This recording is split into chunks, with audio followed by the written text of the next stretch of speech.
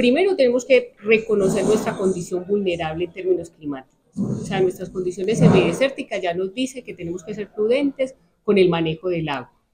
Y el manejo del agua es saber qué capacidad tengo yo para poder mantener la vegetación de mi sector.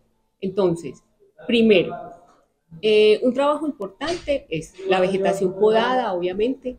La poda se necesita. ¿Por qué se necesita? Porque si tenemos menos recurso hídrico, vamos a ver la vegetación perjudicada en lo que hace a los extremos de, de la ramificación. No va a llegar el agua hasta ahí. Entonces, para nosotros poder tener bien nuestra vegetación, tenemos que optimizar el uso del recurso hídrico. Y el uso del recurso hídrico eficiente en la vegetación está dado por el tamaño de la vegetación.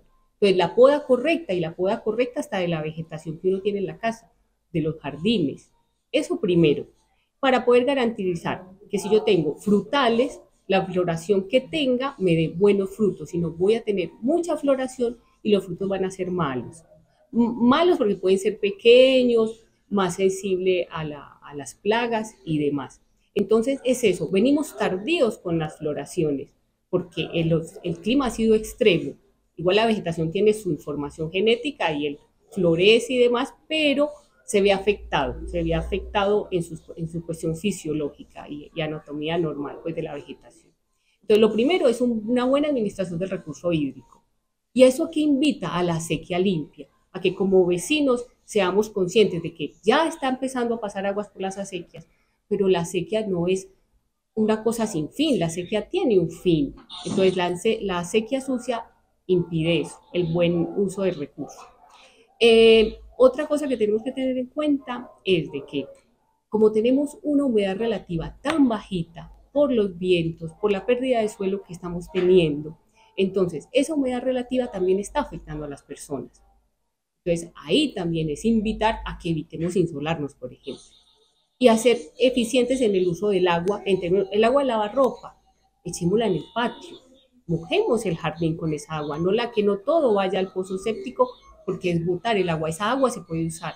Se puede usar para lavar los andenes, para mojar, para regar, para hidratar y no que todo vaya al pozo. Yo creo que esa es como la invitación, porque tenemos un problema grave de humedad relativa. Tenemos que procurar que el ambiente esté húmedo. Y el un ambiente húmedo está dado por la vegetación, está dado por lo que hace a nuestra silvicultura urbana. Todos los árboles de la ciudad es lo que nos permite tener un ambiente confortable en el pueblo. Malargüe no podríamos vivir sin la vegetación que tenemos en los espacios públicos. ¿Cuánto incide, por ejemplo, en esto de la necesidad de, contar con humedad cuando tenemos viento, viento sonda? ¿Afecte mucho a, esta época de floración? Sí, es impresionante, claro, porque estamos hablando de humedades relativas más bajas del 30%. Eso nos dificulta a nosotros hasta para respirar. Entonces, imagínate lo que eso hace a las abejas, a la cantidad de insectos que necesitamos para nuestra producción en general.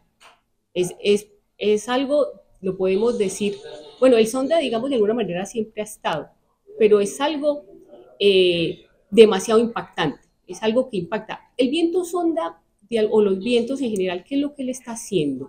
El viento sonda está diciendo, ¿qué es lo que quiere hacer el viento? Lo que el viento quiere hacer es generar un equilibrio. Entonces digamos que el viento no es que sea malo, porque si en la montaña está muy frío y acá está muy cálido, lo que hace ese aire es bajar para compensar un poquito la temperatura ambiente. Eso es lo que quiere hacer el viento. ¿Qué es lo que nos pasa a nosotros? Como la, cordillera está tan cerca, entonces él va a bajar rápido para poder eh, de alguna manera equilibrar una temperatura ambiental. Lo único que hace el viento es eso, moverse de donde está más frío a más cálido para ir equilibrando lo que él está buscando y en ese movimiento arrastra la humedad, él se lleva la humedad. Por eso es importante al momento de realizar una campaña de forestación o, elegir una actividad agrícola, saber qué especie, más allá de, eh, lo que nos puede permitir el suelo, eh, esté en condiciones de soportar estos índices de, humedad tan baja? Claro, es, o sea, eso es indispensable, o sea, porque es el soporte vital. Si no tenemos sol y si no tenemos humedad, pues el soporte vital se ve realmente afectado. Se va a hacer lo posible, la vegetación hace lo posible para buscar en el suelo lo más que pueda. Nosotros lo que tenemos que hacer es que esa vegetación, generar vegetación que ayude a retener esa humedad que se pierde por el viento.